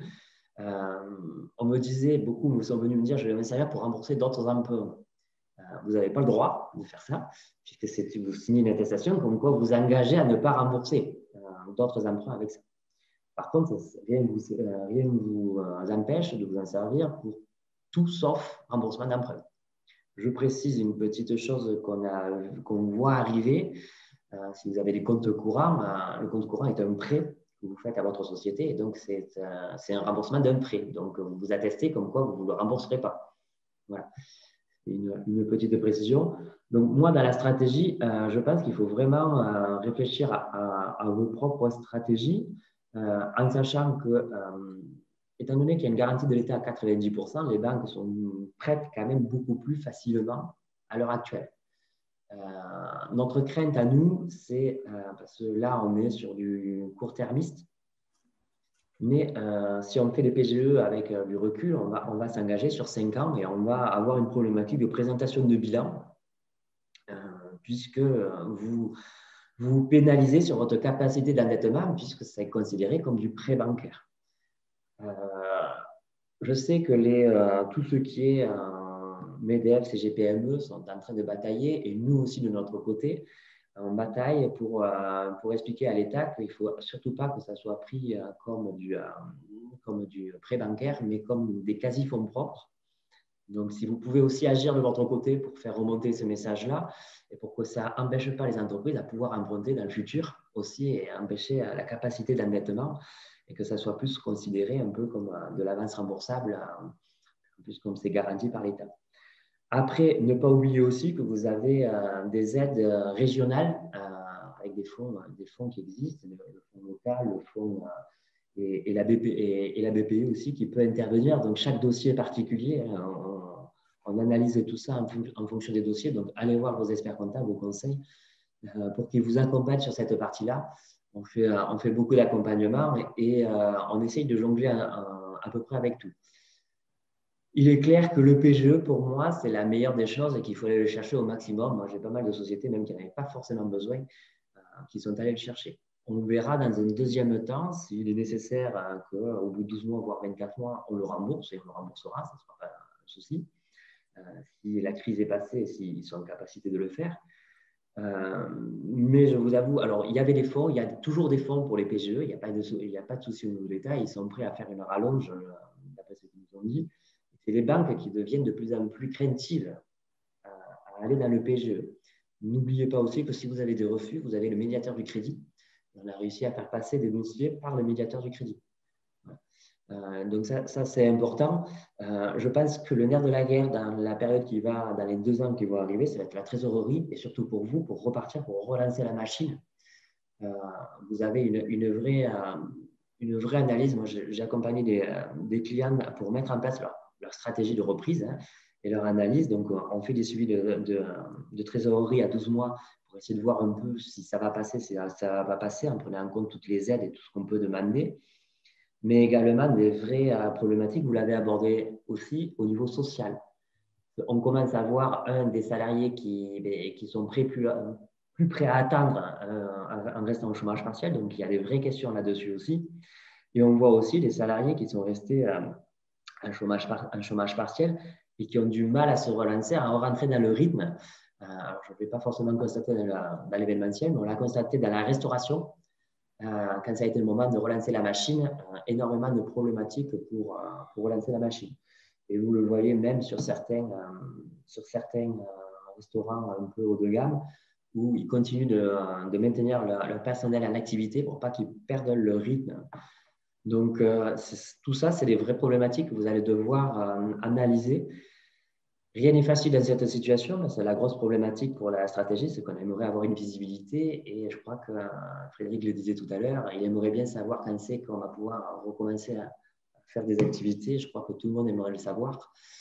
Et même le gouvernement ne le sait pas trop. Nous, depuis le début, depuis le mois de septembre, on entrevoit entre toutes les discussions qu'on a pu avoir qu'il euh, n'y aurait pas une reprise avant février. Parce qu'ils avaient déjà, pour les restaurations par exemple, ils avaient déjà analysé que euh, le mois de décembre serait compliqué avec les fêtes et qu'avec la reprise, le temps que ça se repasse en plateau, ça ne serait pas avant mi-février qu'il y aurait vraiment une reprise.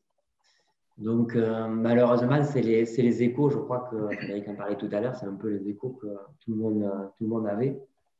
Après, vous aussi, oui, la machine est plus longue à mettre en route.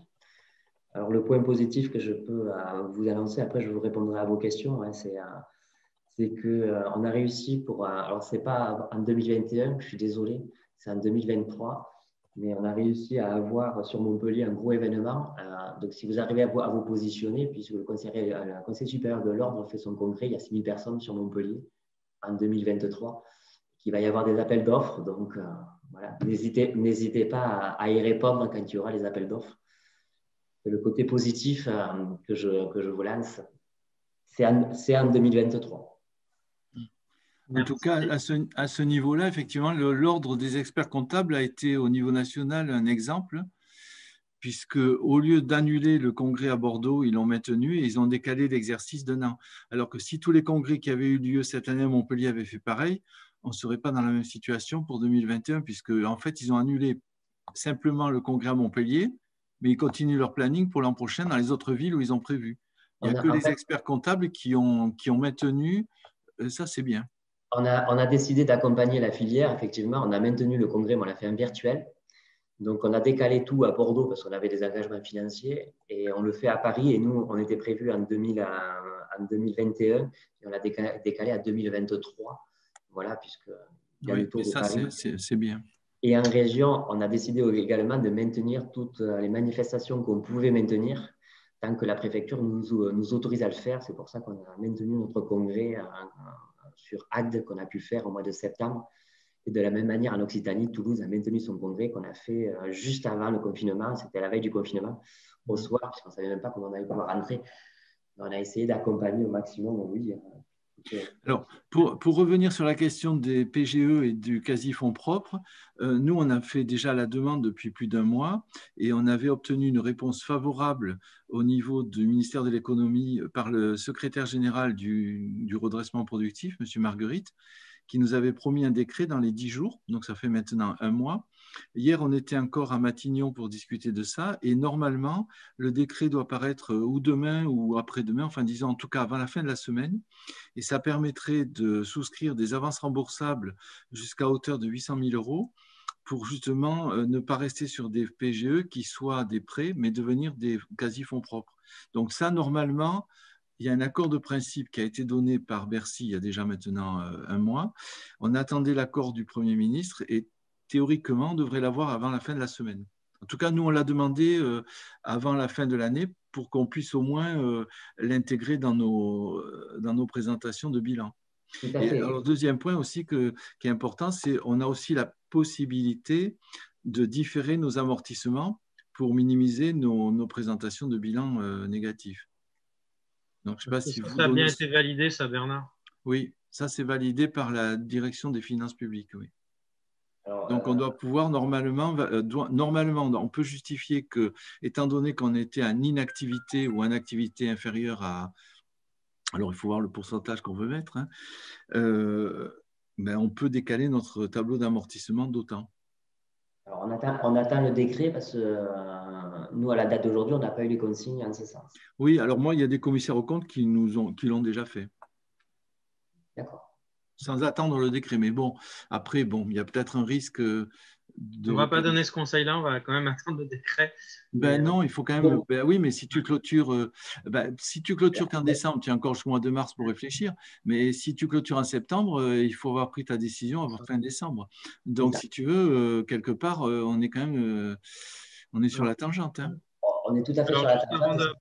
juste avant de prendre les questions pour Pascal, je sais que Frédéric Pitrou doit nous, doit nous quitter là à 30. Donc, il reste deux minutes. S'il y avait vraiment une, une question à lui poser très rapidement, après, je sais qu'il y a Jean-François aussi qui voudra intervenir, donc tu prendras la parole. Mais pour Frédéric Pitrou, est-ce qu'il y a une dernière question avant qu'on le libère et, le remercie de sa présence? Je n'en vois pas. Donc euh, pendant, pendant, la, pendant la, visio, là, il m'a envoyé la présentation et, et euh, le bulletin d'adhésion. Donc ce sera à l'ordre du jour du conseil d'administration vendredi euh, de, repère pour voir si on, vous rejoint. En tout cas, il est évident qu'on a des enjeux en commun et qu'on aura beaucoup de choses à faire ensemble dans l'avenir. Donc merci beaucoup Frédéric d'avoir été avec nous. Merci Frédéric. Ouvrez votre micro si vous voulez dire un dernier mot. Voilà. Bah, écoutez, non, non, euh, je vous en prie, euh, je suis à votre disposition, n'hésitez pas. Et puis, euh, ça fait neuf mois qu'on bataille pour sauver tout le monde, donc on continue. Merci en tout cas, et on sera Merci. aussi bonne soirée. Côté. pour avant de prendre des questions pour Pascal, donc effectivement sur les PGE, pour répondre si je prends mon exemple personnel, j'en avais pas fait au début et là je viens de le faire et c'est quand même vraiment le conseil qu'il faut que tout le monde entende.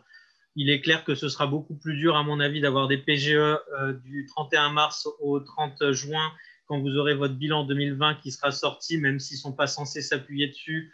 Euh, ce sera, pour l'instant, ils demandent juste une attestation de chiffre d'affaires euh, de l'expert comptable de 2020. Mais après, quand ils vont regarder si vous avez encore des fonds propres ou euh, comment est structuré votre bilan, ce sera sans doute beaucoup plus dur et c'est déjà le cas aujourd'hui. Si on a des bons fonds propres, ça va. Si on a des, fonds propres un peu, un peu euh, difficiles, enfin un peu, un peu euh, légers, ça peut être compliqué déjà. Et, les 20% de chiffre d'affaires ou les, 20%, les 25% de chiffre d'affaires sont vraiment pas automatiques. Et des fois, on a des retours de dossiers où ils acceptent vraiment pas, pas, beaucoup. Donc, n'hésitez pas.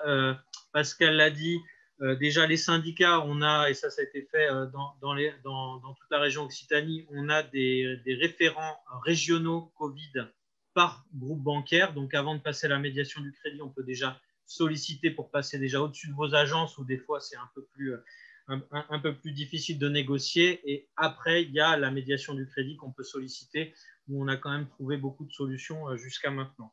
Voilà, ça, c'était pour, pour pour préciser ça.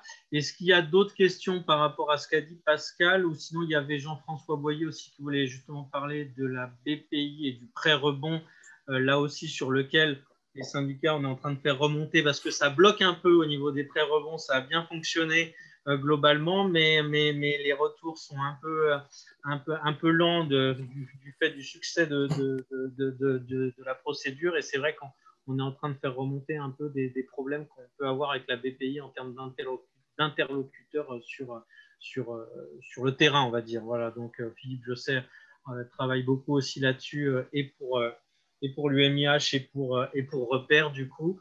Euh, mais euh, voilà, donc Jean-François, si tu veux prendre la parole ou ton micro. Je voulais dire, et je t'en remercie Grégory, bonsoir à toutes et à tous, et pardon pour mon retard, mais parfois ça, ça arrive. Je voulais juste compléter les propos de, Pascal Castanet à, l'instant, parce que moi j'ai quelques éléments chiffrés.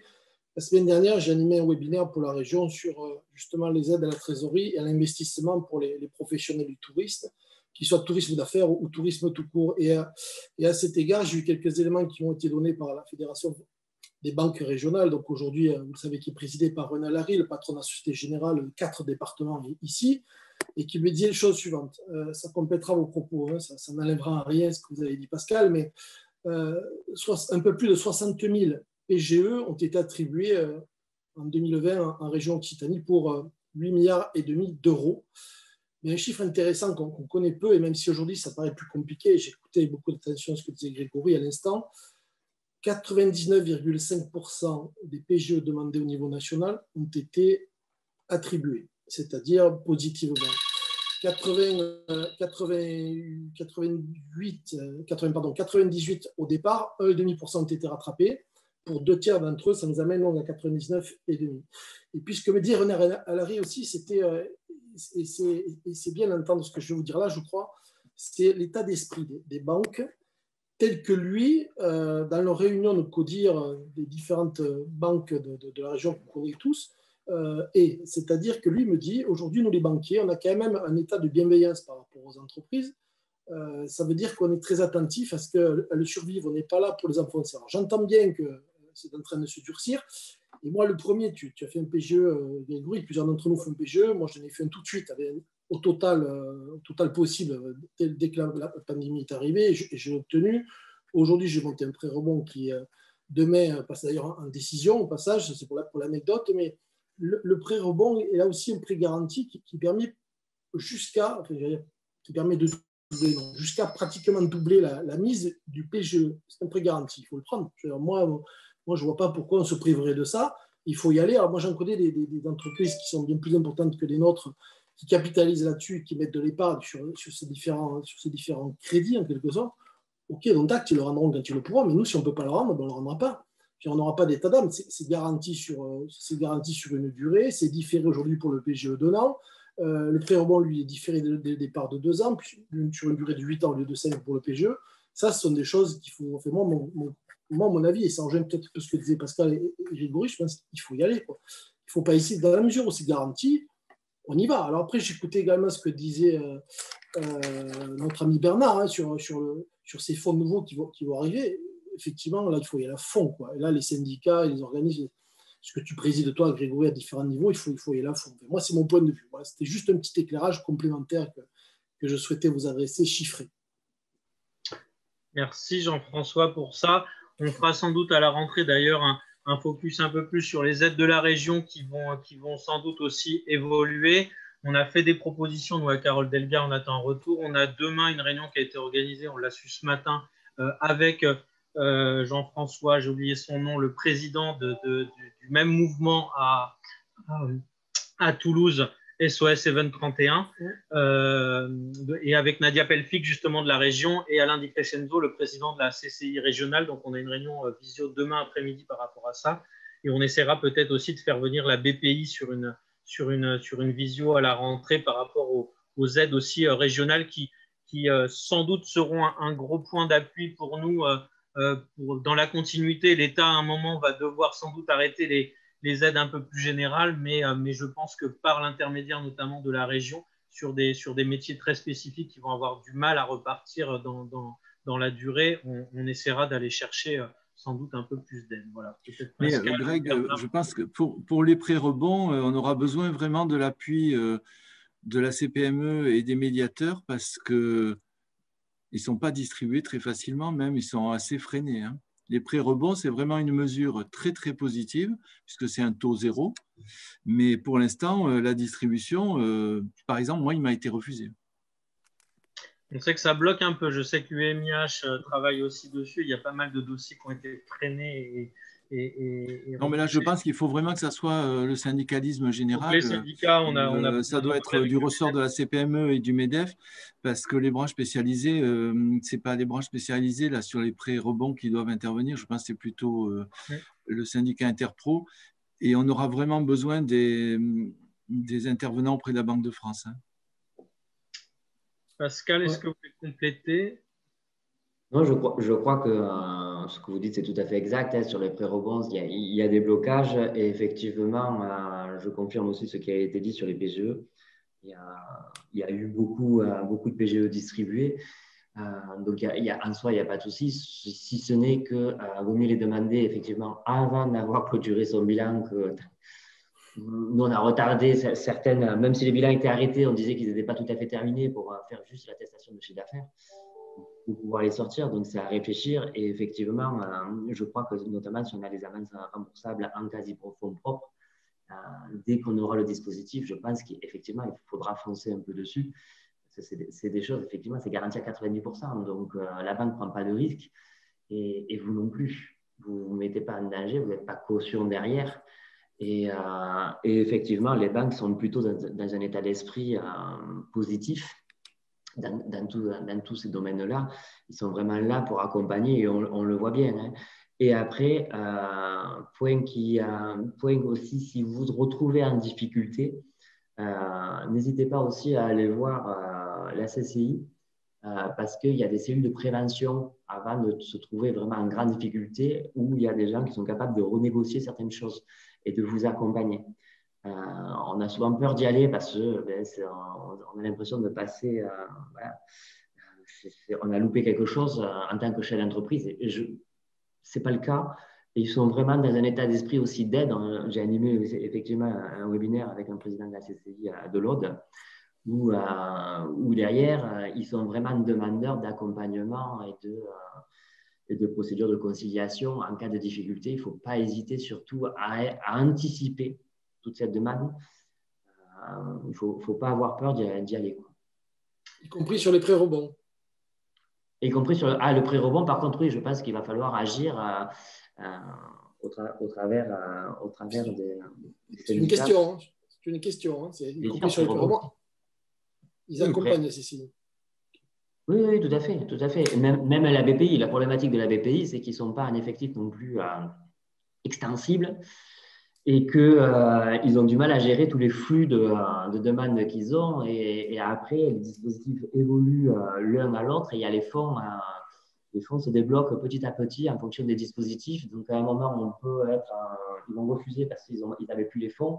Et autre, il y a l'enveloppe qui se remet. Et, voilà, il faut vraiment suivre au, quotidien et pas avoir peur d'avoir des contacts avec eux. Je pense que l'association Repère, justement, peut être cet interlocuteur-là pour vous tenir au courant des évolutions. Moi, je sais que je suis en, relation euh, euh, fréquente avec, avec la BPI justement pour voir un peu euh, les déblocages des fonds. on a su, par exemple, qu'à un moment, il y avait, ça ne à rien de faire certaines demandes, il n'y avait plus de fonds. Quoi. Pourtant, ils communiquaient toujours dessus.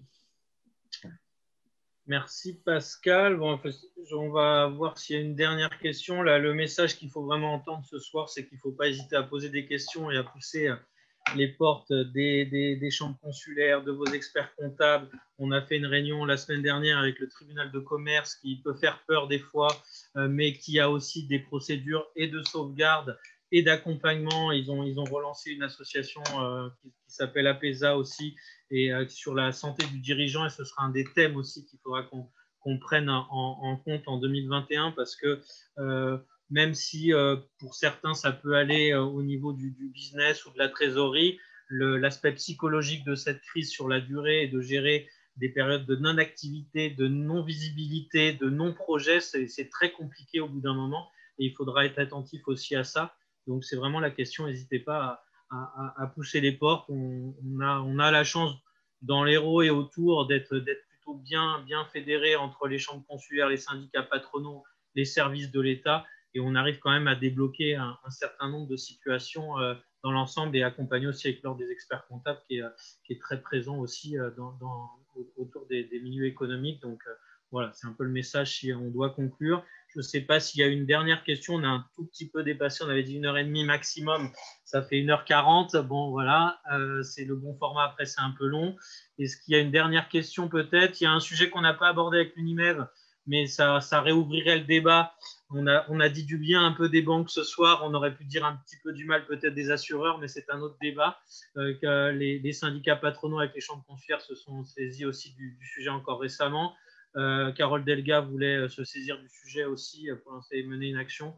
Bon, voilà, c'est un autre débat, on va peut-être pas l'ouvrir et je ne sais pas l'UNIMED où ils en sont au niveau national, mais on, pourra en parler aussi.